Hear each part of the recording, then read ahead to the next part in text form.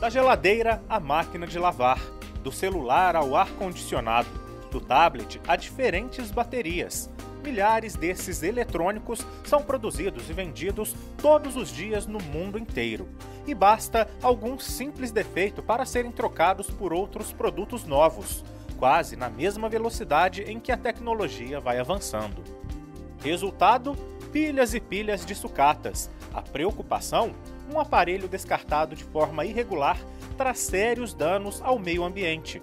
O computador, por exemplo. Uma máquina desta é composta de chumbo, cádmio, mercúrio, cobalto. Poluem o solo e os lençóis freáticos. Para o ser humano, esses materiais podem provocar sérios danos à saúde, como distúrbios neurológicos, baixa imunologia do corpo, irritabilidade e até depressão. Segundo a ONU, o lixo eletrônico cresceu atualmente três vezes mais que o convencional. Em 2014, foram produzidas mais de 50 milhões de toneladas desse tipo de lixo no mundo todo. No Brasil, foram descartadas mais de 1 milhão e 300 mil toneladas de resíduos. Por isso, a sociedade moderna vive um dilema. O desenvolvimento tecnológico é essencial, mas o que fazer com o que a princípio não tem mais utilidade? A resposta pode estar em três palavras: reduzir, reutilizar e reciclar.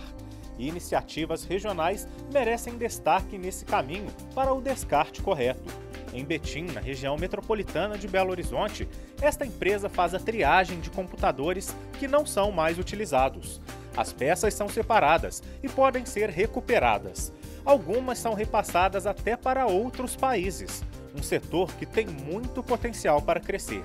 Em média, 50 toneladas de equipamentos chegam aqui todos os meses. Computador, celular, celular que funciona ainda, mas não tira foto, não entra na internet, o pessoal não quer mais. É a mesma coisa computador, que não roda programas mais novos.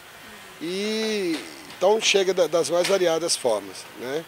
Equipamento de som também, muito antigo, telas, televisões hoje, televisão e monitor, a maioria do, chega funcionando ainda. TV de tubo e monitor de tubo. Para Ricardo, ainda é preciso solucionar alguns problemas. O descarte incorreto desse tipo de lixo é cultural. Faltam políticas e campanhas para conscientizar a população e mostrar que é possível reutilizar os eletrônicos. Observando isso, ele resolveu montar o centro de reaproveitamento. Porque você não pode mandar para o aterro, a prefeitura não recolhe, o, o, ferro velho não compra isso, então às vezes compra, tira uma parte, mas joga o resto que, que não interessa fora. Então a proposta nossa é justamente dar destino para todo tipo de resíduo. Essa ideia só é mantida com parceiros. Funciona assim. Coletores de resíduos estão espalhados em vários pontos da cidade. Nesta associação, os funcionários participam da campanha há quatro anos.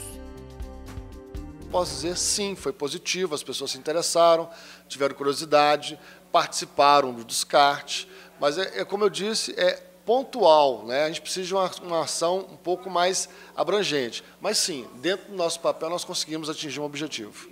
O ato de reutilizar se faz com ações. A base de toda essa pirâmide, na verdade, começa com a formação de multiplicadores desse conhecimento. No Centro Mineiro de Referência em Resíduos em Belo Horizonte, pessoas a partir de 16 anos fazem o curso para aprender que o lixo eletrônico pode ganhar uma nova vida. No projeto 3Rs PCs, os estudantes aprendem a fazer a reutilização das máquinas. Computadores considerados fora de linha são remontados por eles. Ao final, são doados para instituições e pessoas carentes. Segundo o professor, uma boa ideia para reformular a ideia do que realmente é lixo.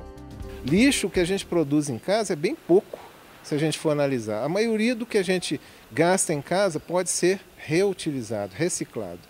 E é aí que a gente tem que pensar individualmente o que, que cada um pode fazer para contribuir com é, é, é, essa minimização desse problema, tá? que realmente está se tornando um problema muito sério.